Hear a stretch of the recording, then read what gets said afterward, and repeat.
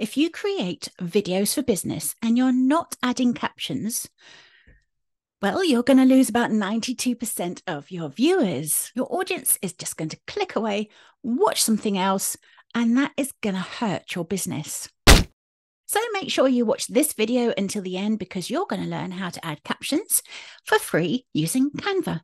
You can even create those trendy video captions that I'm seeing everywhere on Instagram.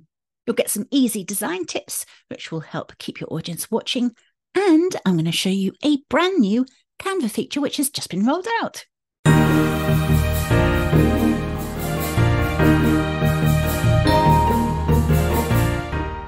At the current time, Canva does not have a specific feature which will help you add captions to videos.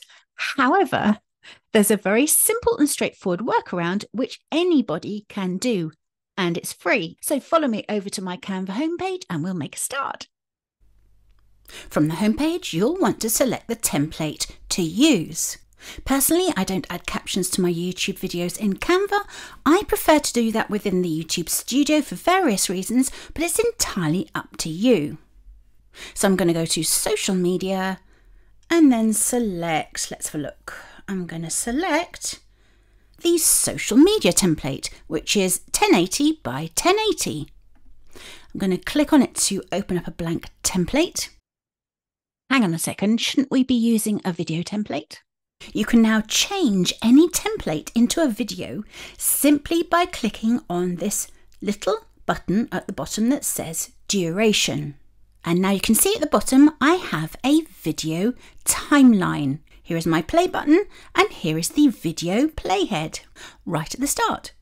If you click on a template and you don't see that little duration button, what you'll need to do is add a page then click on that little upward arrow at the bottom of the screen and then you will see that little duration button.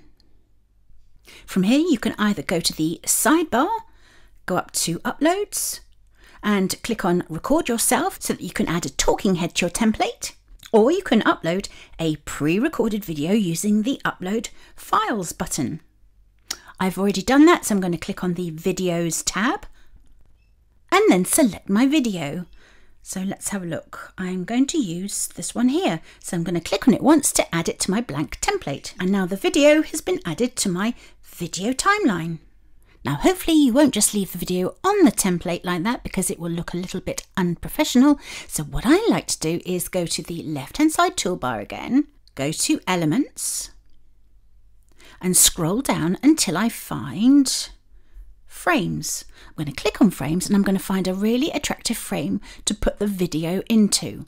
So scrolling down, I usually add my videos to an iMac frame or a laptop frame. So let me just click on the laptop to add it to my template. Just going to move it to one side for a second. And now I'm going to drag my video into the frame like that. I'm just going to reposition the video Okay, that looks a little bit better. Rather than have a plain white background, I'm now going to add my own brand slide. So to do that, again, I'm going to go to the left-hand side toolbar and click on Brand Hub. And here I've saved all my brand assets, such as brand templates, my logos, my brand colours, fonts, and so on. And if I scroll down, I can find my two brand graphics. So I'm going to add this graphic to the template by simply dragging it and dropping it into place. Looking good. While I'm there, actually, I might just add my verified expert logo at the top. Fabulous. The important thing to note here is that you're going to leave a little bit of space in, say, the lower third of your template because this is where your captions are going to go. If it helps, you can add some handy guides to your template. So go to the top left hand corner of the toolbar, click on File, select View Settings, select Add Guides, and now add maybe a 3 by 3 grid. Select Add Guides, and now you can use these grid lines to help you position all your content So I'm just going to move this frame up a little bit. Okay, so this is my lower third, and here I'm going to add my captions. Let's get rid of these guides now. To add your captions, you're going to start playing your video.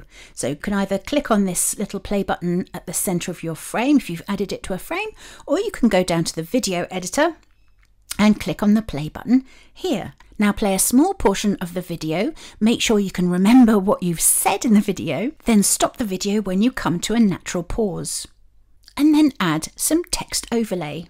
So again, using my brand hub, I'm going to select one of my brand fonts reposition the text box into the lower third, increase the size of the box, and then start typing what I've just said. Before I start, I'm just going to change the colour of the text so I can actually see it. Okay.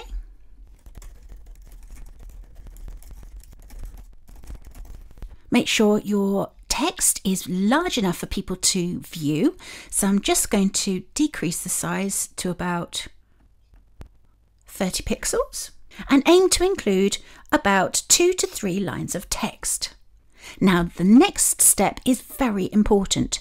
You're going to go down to your video timeline and find your playhead. You're now going to split the video at the playhead by clicking on Control and your keypad if you're on a Mac, and then select Split Page. So now you have two sections to your video play the next part of your video in exactly the same way as you did just now. Type your text and then split the video again at the playhead. Now repeat this process until you come to the end of your video. Once you've done that, you can make your captions stand out even more and make them truly eye catching with some Canva text effects. Just by way of a quick design tip, do make sure that your captions stand out against the background of your video as much as possible. So make good use of contrast. So if the background of your video is white, make sure you use dark text. This will ensure that your viewers are able to read the captions quickly and easily, which is what you want. You can use a Canva text effect to help you, so select your text, go up to Effects in the Canva toolbar and click on it. And on the left hand side, you have got some lovely text styles. You can add some text background by clicking on this thumbnail here. Change the colour of the background by clicking on the Colour tab and selecting whichever colour you'd like. So you could have a black background and change the text to white. Drag these buttons along the slider bars to adjust the roundness of your text box. So slide it to the left if you want a square text box and right over to the right hand side if you want a more rounded text box. Adjust the, the spread of the text box and the transparency. And now for one of my Nicky Ninja tips. Rather than go through this process for every single section of your video, what you're going to do is use one of Canva's small but mighty features. So select the text again, go up to the toolbar, and then click on what looks like a little roller brush, and that is the copy style button.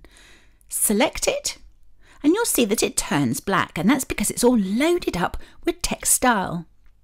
Go down to the video timeline, and you'll see that the roller brush stays black. Select the next portion of your video, and click on the next section of text. And that's done. All that text style has been copied and pasted in an instant.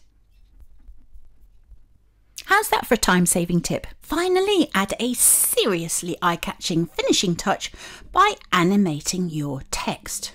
Select the text, go up to the toolbar and click on Animate. And on the left hand side, you have an entire menu of text animations that do different things and have different effects. My personal favourite is Typewriter. To add text animation, just click on the little thumbnail Choose whether you want the text animation to appear as the text enters, exits, or both. I prefer on enter.